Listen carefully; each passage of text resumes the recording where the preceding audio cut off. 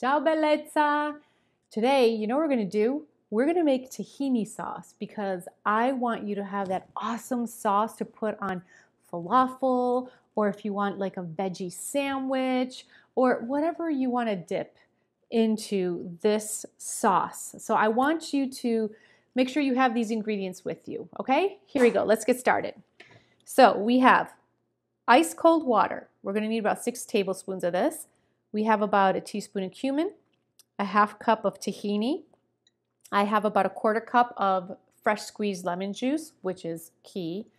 I'm going to only use about a teaspoon of salt, even though there's more than um, a teaspoon, and about a teaspoon of garlic. Now, I recommend using fresh garlic. I just ran out, but you can use this, okay?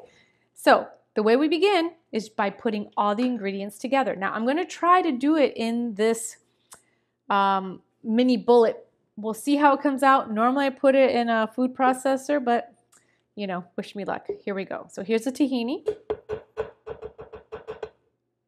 Get that all in. We're going to put in the cumin.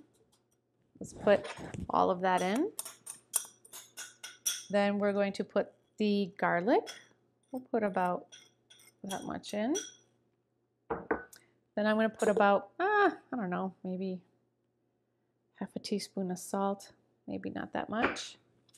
Then we're going to put the lemon juice all the way in.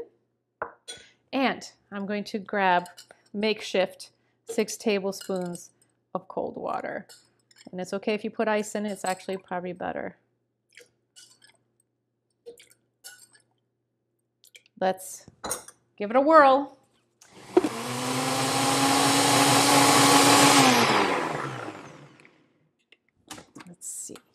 Creamy enough. This is a little too thick. So we're gonna add a little more water. We want it to be saucy. So let me add two more and see how that works. Let's try that. Well, let's see what that did. Mmm, much better. Much better. We can make it a little bit more liquidy. Mm. You know what it needs? More lemon. Let me get more lemon. Okay. I'm going like this so no seeds escape into the sauce. We don't want that. There we go. Let's try this half a lemon. Let's add one more tablespoon of cold water. Let's try it. Eh, let's make it two. I like it liquidy. All right, here we go.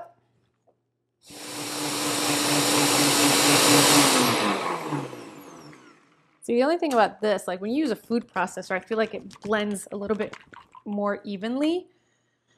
Um, but because I'm just making a little, oh, this consistency is perfect. This is exactly the consistency I'm looking for. Let me see how it tastes now.